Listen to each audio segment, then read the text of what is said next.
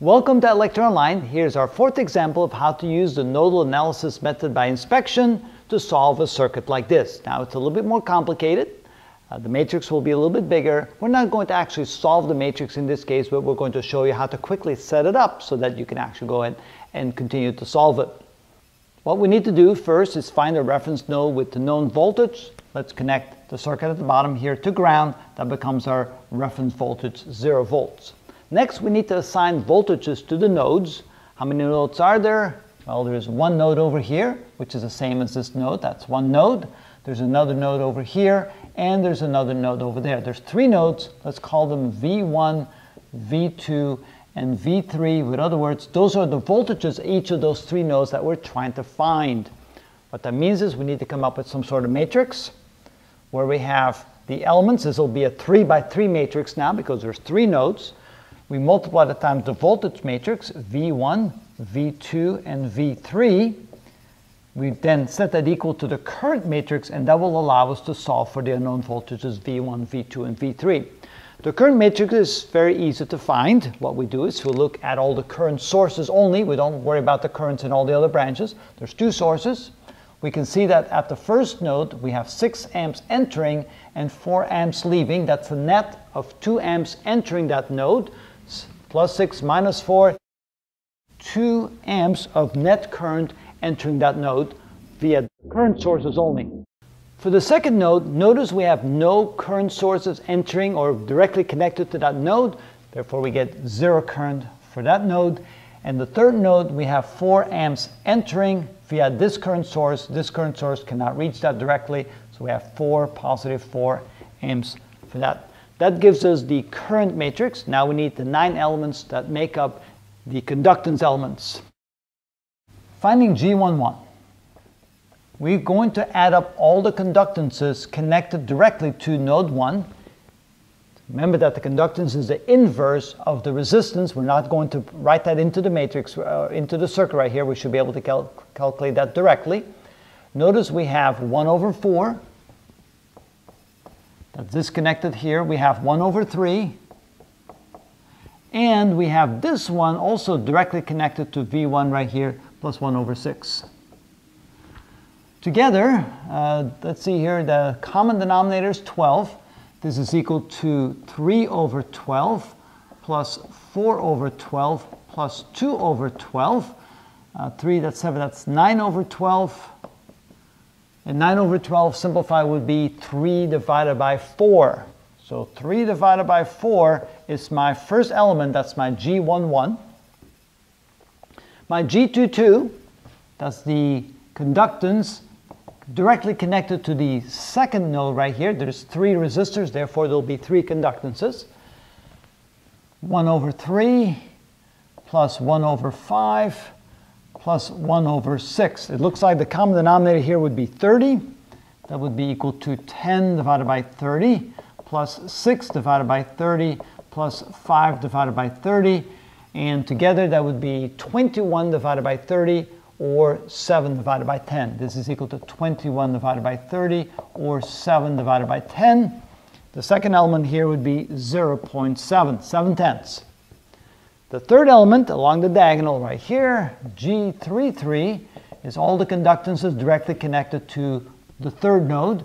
We have the 6 ohm resistor, 1 over 6, the 5 ohm resistor, 1 over 5, and the 8 ohm resistor, 1 over 8. Hmm, common denominator here, uh, wow, that would be um, 8, 6, and 3, that's 4, that's 120. Common denominator is 120. 6 over 120 20 times, 20 over 120 plus, that would be 24 over 120, and that would be 15 over 120. Adding those together, that's 44, that's 59.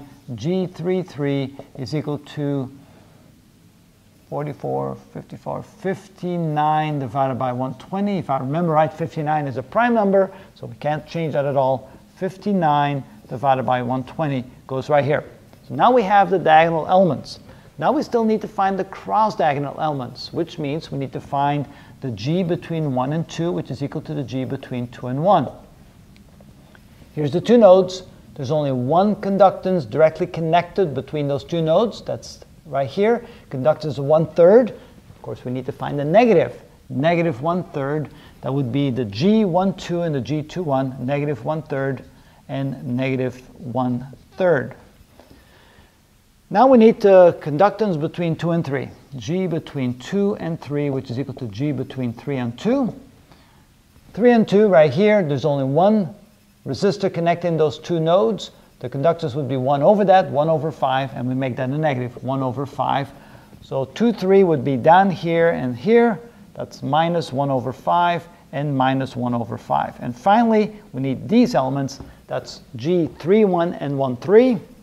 G31, which is equal to G13. Between nodes 1 and 3 is a direct, direct connection. There's only one direct connection, which is this resistor right here. The conductance would be 1 over that, 1 sixth minus 1 over 6, and that goes minus 1 over 6 here and minus 1 over 6 there. Now we have the three equations in matrix format. To find V1, V2, and V3, what you have to do is as follows. I'll just go ahead and set it up and you can see it. The determinant matrix would be equal to this, which is 3 quarters, 9 over 120.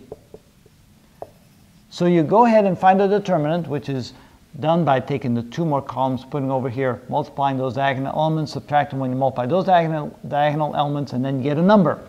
The next thing you do is you then want to find the matrix which you could then use to find V1, which is equal to the same matrix as we have here, but the first column replaced by the currents. So you end up with 2, 0, and 4. Then you keep the other elements, and 59 over 120.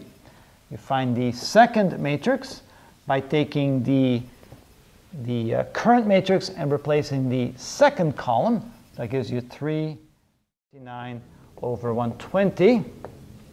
And finally, you get the third matrix, which is by taking the original determinant matrix, 3 over 4, 2, 0, and 4, and then you find out the value for that. Then finally, you can say that the voltage, V1, is equal to the matrix here that you evaluated divided by the determinant. V2 is equal to the matrix here divided by the determinant, and V3 is equal to the matrix here divided by the determinant. So go ahead and solve, try this at home, find the determinant of the 3 by 3 matrix, find the value for this, for this, and for that, and find the voltages V1, V2, and V3. What we're just trying to show you here is how quickly you can come up with these equations using this nodal analysis by inspection. It's a really fast method, very easy to come up with the equations. Of course, doing that takes a little bit more work. Go ahead and try it, and that's how we do that.